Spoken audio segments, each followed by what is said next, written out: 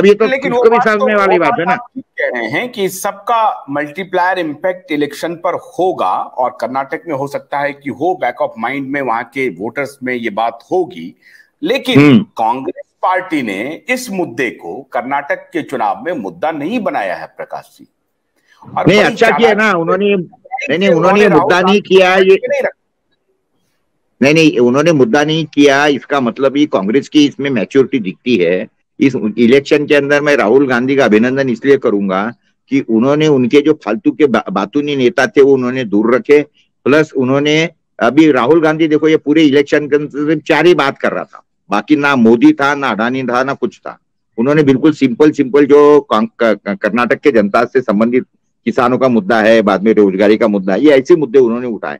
तो ये मैच्योरिटी की तरफ़ जा रहे हैं, राहुल गांधी जी, ये बोलना चाहिए। और जो इमेज उन्होंने बनाने की कोशिश किया था, राहुल गांधी की, वो राहुल गांधी की इमेज को राहुल गांधी ने खुद ही काट दिया है और इनकी जो इतनी साल की मेहनत थी बीजेपी की, वो सारी खत्म करवा दी है। ये बात तो बिल्कुल पक्की है। ठीक है। आखिरी में ध्रुव जी, बहुत ही ये इसको हम कंक्लूडिंग रिमार्क्स भी कहेंगे, शो का, क्योंकि एक घंटा होने जा रहा है। ये जो प्रकाश जी कह रहे थे अभी कि उद्धव ठाकरे के साथ जो व्यवहार हुआ, हालाँकि उद्धव ठाकरे ने कोई अच्छा व्यवहार नहीं किया था भारतीय जनता पार्टी के साथ, वो टिट फॉर टैट हुआ है। लेकिन एक सिंपैथी जनरली जनता के मन में ये गई होगी बात कि इसका निशान भी चला गया, पार्टी भी चली गई तो एक सिंपैथी उनके पास चली गई। दूसरी बात ये कि अभी जो फूल उल बरसाने वाली बात है, राहुल गांधी का जो सदस्यता उनकी चली गई, उनका बंगला उंगला सब छिन गया, इस सब का टोटलिटी में इलेक्शन पर इंपैक्ट हो रहा है। और प्रकाश जी कह रहे हैं कि ये जनता के दिमाग में जा रहा है कि ये गलत हो रहा है, ये ठीक बात नहीं है। वो सब भी कहीं ना कहीं कर्नाटक के चुनाव में दिखेगा। तो ये एंगर भी लोगों के जहन में है और इसीलिए कांग्रेस भी बड़ी चतुराई से खाली राहुल राहुल नहीं कह रहे थे। उन्होंने मुद्दे को सामने रखा और एक, जैसा अभी प्रकाश जी ने कहा कि एक मेचोरिटी का प्रदर्शन कर रहे हैं राहुल गांधी। तो क्या ये, अगर ये सारी बात सही है तो ये चुनाव मोदी के खिलाफ एंटी इनकम्बेंसी हो जाएगा क्या कल हमने चर्चा की थी कि ये बासव राज के खिलाफ होगा तो प्रकाश जी के तो बात से लगता है कि मोदी के खिलाफ हो जाएगा देखिए जो कैचुआ है केंद्रीय चुनाव आयोग उसने कैचुआ का रोल किया है हम्म। ये वाली बातें सबके सामने धीमे धीमे आने लगी हम्म। उसके अलावा जो नरेंद्र मोदी जी का भी हम्म।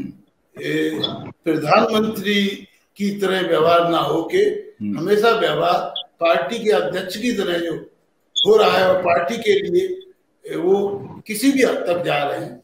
तो उससे बहुत सारे जो बुद्धिजीवी वर्ग में तो निराशा हो रही है। निराशा हो ही रही है कि हम लोग देश आगे बढ़ रहा है या हम लोग पुरातन पीछे जा रहे हैं। लेकिन जमीनी स्तर पर क्या हो रहा है? ये तो कर्नाटक का इलेक्शन हो जाएगा ये तो पक्का है कि कर्नाटक में सबसे ज़्यादा वोट तो कांग्रेस को मिलने ही मिलने हम्म। लेकिन कांग्रेस का वोट बैंक इवन है वहाँ की हर सीट पे कांग्रेस का वोट बैंक है। और म्यूनिसपैलिटी निकाय चुनावों में भी कांग्रेस की जो जीत हुई है उससे ये भी पता लगा है कि शहरों में भी 501 सीट जो कांग्रेस को मिली थी हम्म। कि भाई निकाय शहरी क्षेत्र में भी कांग्रेस का हम्म, वर्चस्व है। वर्चस्व है। लेकिन जो बात हो रही थी कि कांग्रेस का वोट इंजन है लास्ट इलेक्शन में भी कांग्रेस को वोट तो ज़्यादा मिले थे हम्म। लेकिन सीटें नहीं मिली थी मिली थी उसका कारण ये है कि कुछ एरिया के अंदर जैसे मैसूर के पास पास हम्म। तो जेडीएस का कंट्रोल है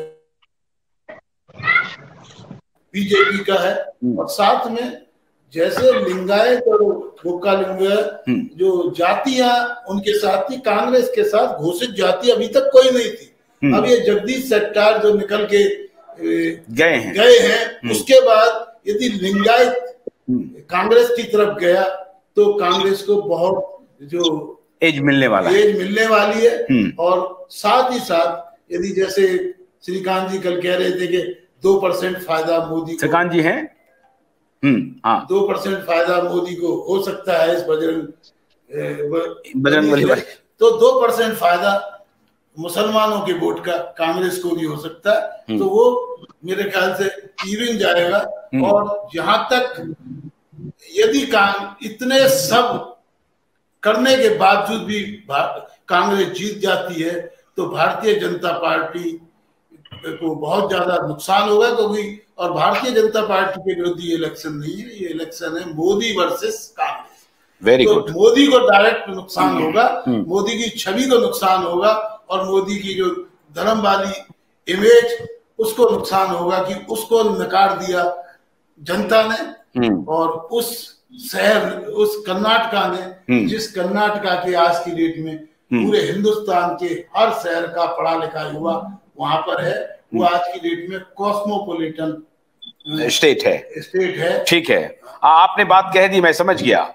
एकदम बहुत शानदार आपने बात कही कि जो कॉस्मोपॉलिटन स्टेट है, जो स्ट्रक्चर है, एक प्रकार से अकेला बेंगलोर शहर जो है, या बेंगलोर मैंगलोर मैसूर इस सब का जो एक स्ट्रक्चर है, वो एक कॉस्मोपॉलिटन स्ट्रक्चर है। और वहाँ अगर भारतीय जनता पार्टी की हार होती है तो क्वार्टर फाइनल में बीजेपी बीजेपी नहीं, नरेंद्र मोदी आउट हो जाएँगे।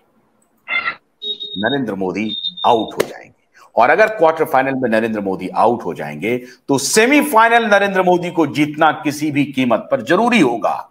और अगर सेमीफाइनल में नरेंद्र मोदी नहीं जीते तो अल्टीमेट जो फाइनल है 2024 का, उसमें बहुत खतरा हो सकता है मोदी के लिए। और जो प्रकाश जी अभी कह रहे थे कि कर्नाटक के चुनाव के बाद भारतीय जनता पार्टी में भगदड़ मच सकती है, क्योंकि ये इलेक्शन ईयर है। क्योंकि मैच शुरू हो चुका है। ये 2022, 2021 या 2020 का वक्त नहीं है। ये 2023 का वक्त है। 24 मई में तो केंद्र में सरकार बन जानी है।